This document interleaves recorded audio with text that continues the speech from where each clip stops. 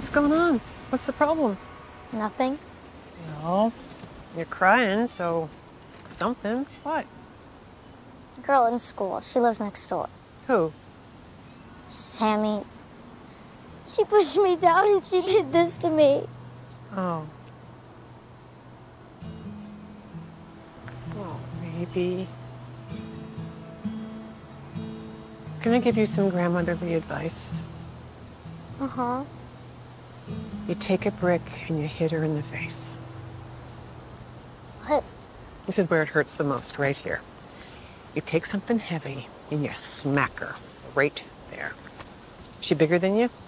Yeah. That's good. She won't expect it. Okay, here.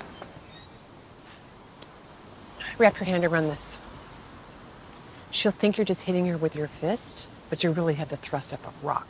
What's your name again? Sammy? Sammy. Sammy's gonna bleed just a little bit, but she'll think it's just from your fist. Then you just drop your arm down by your side like this and let it slip out. And people will never know you had a rock in there at all. I can't. Oh, sure you can, sweetheart. I thought I couldn't either. You know what I found out?